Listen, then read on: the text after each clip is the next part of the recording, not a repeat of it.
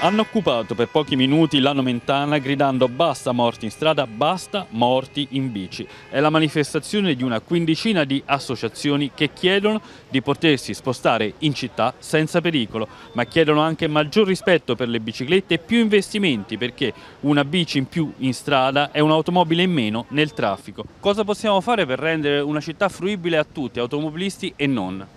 Ad esempio manifestazioni come questa che uniscono varie categorie, non solo i ciclisti ma anche so, i runner, chi si occupa di ecologia, sostenibilità del traffico.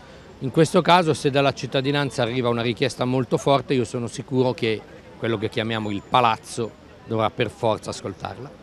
Noi diciamo che l'Italia non è un paese per bici perché investe 100 volte di più sull'automobile rispetto alla ciclabilità. Eh, ci sono tassi di motorizzazione nel nostro paese di 70 automobili ogni 100 abitanti a Roma, quando le altre capitali europee ne hanno meno di 30 e l'idea che si possano tagliare oltre 90 milioni per le piste ciclabili fa rabbrividire.